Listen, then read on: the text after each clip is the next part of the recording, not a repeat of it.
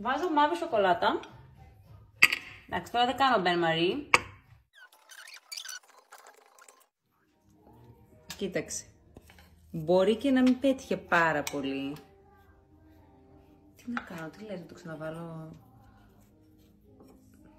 Τι να κάνω. Γι' αυτό ήθελε μπεν μαρί, κατάλαβες;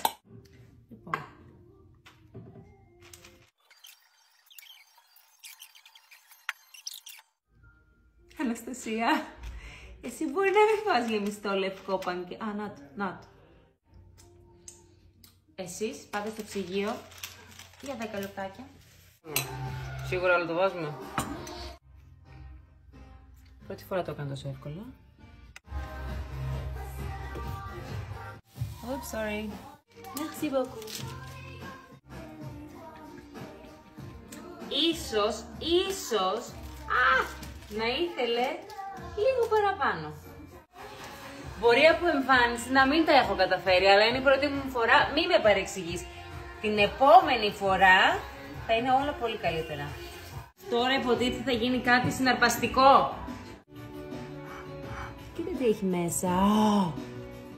Θα μπορούσε να είναι και καλύτερο, αλλά...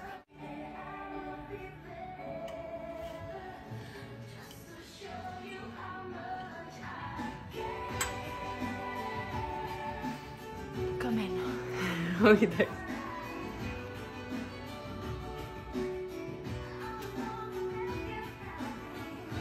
Μμμ. Να το κάνεις. Και θα το κάνεις καλύτερα από μένα.